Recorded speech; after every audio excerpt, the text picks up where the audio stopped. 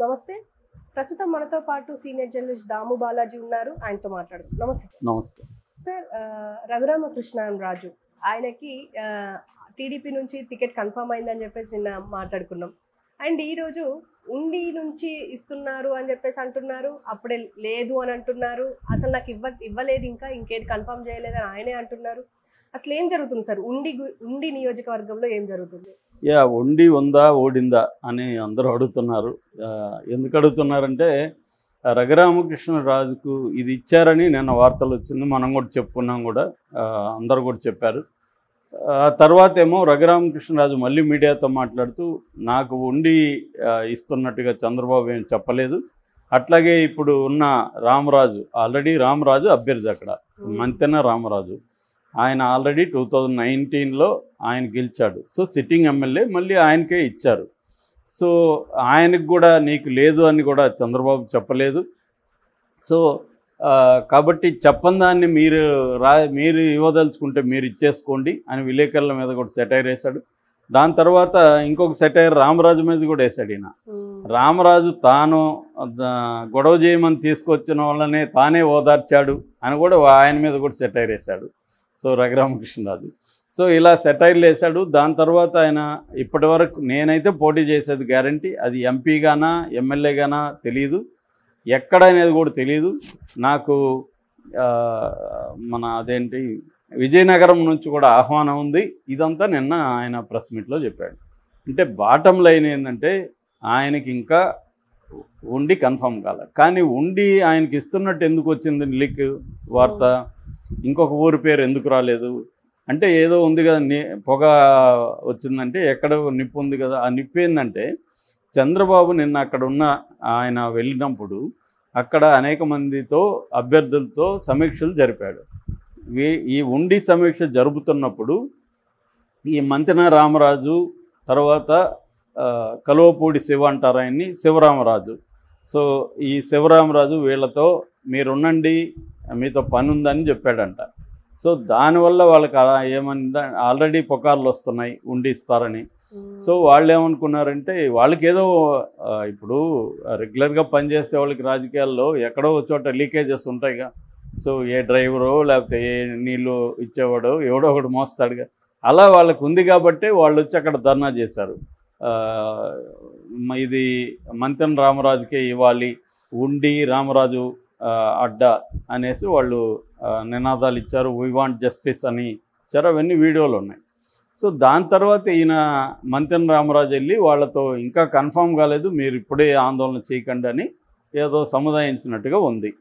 అంటే దానివల్ల ఏమన్నా ఆగాడా చంద్రబాబు? ఆల్రెడీ ఏంటంటే ఉండిలో ఇద్దరు రామరాజుల మధ్య గొడవలు ఉన్నాయి. మంతెన రామరాజు కలువపూడి శివరామరాజు. ఆ శివరామరాజు గతంలో ఆయన అక్కడి నుంచి ఎమ్మెల్యేగా ఎన్నికయ్యాడు టూ థౌజండ్ ఫోర్టీన్లో. అయితే టూ థౌజండ్ నైన్టీన్లో ఆయన ఎంపీగా నర్సాపురం నుంచి కంటెస్ట్ చేశాడు. ఇతన్నేమో అక్కడ పెట్టారు. ఎవరిని? ఈ మంతెన రామరాజు సో ఇప్పుడు నర్సాపురంలో ఆయన ఓడిపోయాడు మంతెన గెలిచాడు. ఇప్పుడు ఆయన మళ్ళీ నాకు ఎంపీ ఏమొద్దు నాకు ఉండినే కావాలి నేను ఎందుకంటే ఆల్రెడీ గెలిచాను టూ థౌజండ్ అంటే టూ థౌజండ్ నైన్లో ఆయన గెలిచాడు ఫోర్టీన్లో గెలిచాడు రెండుసార్లు గెలిచాడు ఆయన. సో మళ్ళీ నేను అక్కడ నిలబడదామని ఆయన అనుకున్నాడు. కానీ ఆయనకి ఇవ్వకుండా ఆల్రెడీ సిట్టింగ్ ఎమ్మెల్యే ఉన్నాడు కాబట్టి మంత్రి రామరాజుకి చంద్రబాబు ఇచ్చాడు. సో ఇప్పుడు ఆయన రెబల్గా ఉన్నాడు.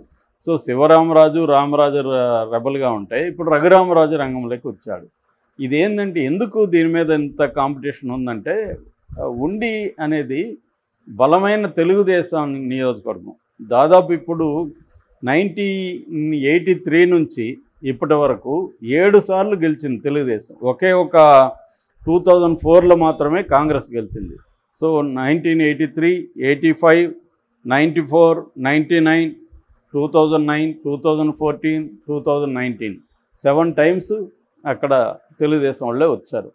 సో ఒక వేవ్ ఉన్నప్పుడు కూడా అంటే టూ థౌజండ్ నైన్టీన్లో జగన్ వేవ్ ఉన్నింది కదా ఓన్లీ ఇరవై మూడే వచ్చే తెలియదు ఆ ఇరవై మూడులో కూడా ఇదొకటి అనమాట అంత బలమైన నియోజకవర్గం. అక్కడ రాజులే ఎక్కువ ఉంటారు.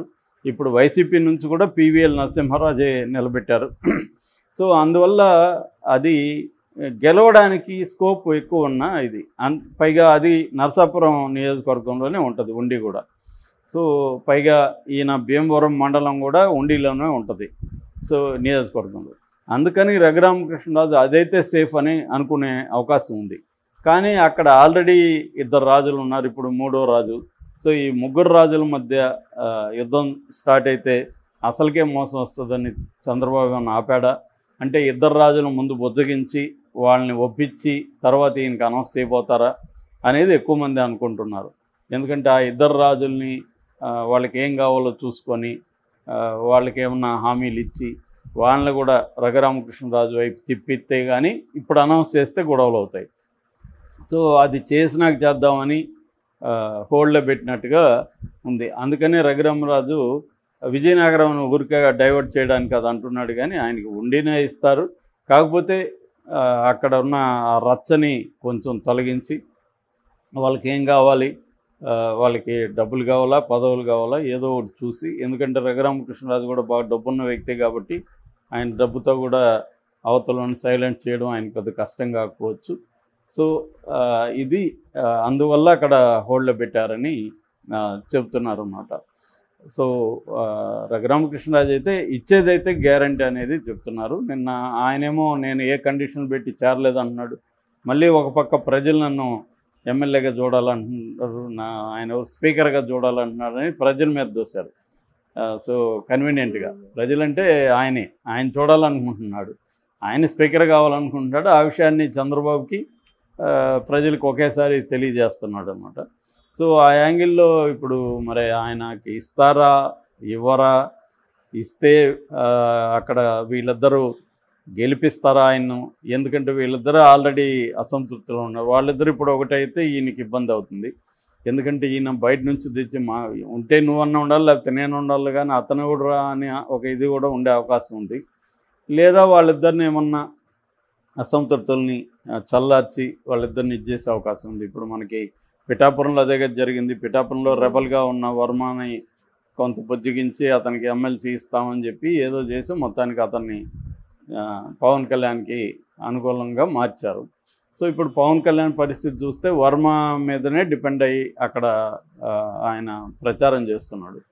సో దానివల్ల జనసేనలో కూడా వ్యతిరేకత వచ్చింది. వర్మ తప్ప మేము కనబడట్లేదు అని కూడా జన సైనికులు ఆవేదన వ్యక్తం చేస్తున్నారు. సో ఇలాగా ఈ ప్రాబ్లమ్స్ ఉంటాయి. ఎందుకంటే కూటమి కాబట్టి ఇప్పుడు జగన్ సింగిల్ పార్టీ అతనికే అనేక ప్రాబ్లమ్స్ ఉన్నాయి. ఇంకా కూటమిలో ఉండకుండా ఎలా ఉంటుంది? పైగా రఘురామకృష్ణరాజుని అకామిడేట్ చేయాలన్న నైతిక బాధ్యత అయితే చంద్రబాబుది. ఎందుకంటే రఘురామకృష్ణరాజు ఈ నాలుగేళ్ళలో ఉపయోగపడింది ఎవరికి? తెలుగుదేశానికి. వీళ్ళు ఉపయోగించుకుంది కూడా తెలుగుదేశం. అందుకనే ఆయన ఆ మధ్య కూడా నన్ను పార్టీలో ఏ పార్టీలో మా పార్టీలో చేరలేదు కదా మేము ఎలాగ ఇస్తామంటున్నారు. నాలుగేళ్ళకి ఉపయోగించుకున్నప్పుడు తెలియదని లమ్ డాష్ తిట్లు కూడా తిట్టాడు ఆయన వాళ్ళని. సో తెలుగుదేశం వాళ్ళని. సో అందుకని ఇప్పుడు ఇవ్వాల్సిన బాధ్యత కూడా ఆయన కానీ ఇప్పటికీ కూడా ఆయన మైండ్ అంతా కూడా నర్సాపురం మీద ఉంది. అది కూడా చంద్రబాబు ఇంకా ట్రై చేస్తున్నాడని చెప్తున్నారు. అది కూడా ఏమైనా ఆప్షన్ ఉందా అనేది కూడా మనకి కొద్ది రోజుల్లో తెలుస్తుంది. ఎందుకంటే ఏలూరు మీరు తీసుకొని నర్సాపురం మాకు ఇవ్వండి అని చంద్రబాబు అడుగుతున్నాడు.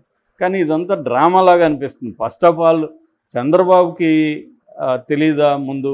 రఘురామకృష్ణరాజు ఇక్కడ ఉన్నాడు. ఆయన ఎప్పటి నుంచో చెప్తున్నాడు ఓపెన్గానే. నేను ఇక్కడి నుంచో పోటీ చేస్తాను అంటున్నాడు. రెండోది ఇంకొకటి ఏంటంటే మనకు తెలిసిన విషయం రఘురామకృష్ణరాజు ఎప్పుడో తెలుగుదేశంలో చేరడానికి ట్రై చేశాడని చంద్రబాబు ఆపాడని కూడా అంటున్నారు. ఎందుకంటే ఇది బీజేపీ అడుగుతుంది. సో బీజేపీకి వెళ్తే నువ్వు బీజేపీలో జాయిన్ అయ్యి చేద్దు అని రఘురామకృష్ణరాజుకి హామీ ఇచ్చాడు. మరి అట్లాంటి హామీ ఇచ్చినప్పుడు చంద్రబాబు బీజేపీ వాళ్ళతో మాట్లాడలేదా క్లియర్గా? బాబు నేనైతే ఇది రఘురామకృష్ణరాజుకి ఇవ్వాలి. మీరు కూడా ఆయనకే ఇచ్చేటైతే మీకు ఇస్తాను. లేకపోతే ఇంకో చోటు తీసుకోండి అని చెప్పొచ్చు కదా. ఎందుకంటే ఇప్పుడు తనకి ఇష్టమైన వాళ్ళనే ఎంపీలుగా ఎమ్మెల్యేలుగా బీజేపీలో పెట్టగలిగాడు. జనసేనలో కూడా చంద్రబాబు పెట్టగలిగాడు. ఆ హోల్డ్ చంద్రబాబుకు ఉంది రెండు పార్టీల మీద. ఇంకా వాళ్ళల్లో ఇబ్బందులు ఉన్నాయి తప్ప ఈయనకైతే ఆ రెండు పార్టీల మీద హోల్డ్ ఉంది. అంత హోల్డ్ ఉన్నప్పుడు రఘురామకృష్ణరాజుకి ఎందుకు ఇవ్వలేకపోయాడు అనేది ఒక బిగ్ క్వశ్చన్ అనమాట మరి దానికి ఆన్సరు ఎవరు చెప్పాలంటే ఎవరు చెప్పలేరు. చంద్రబాబే చెప్పాలి. Okay sir thank you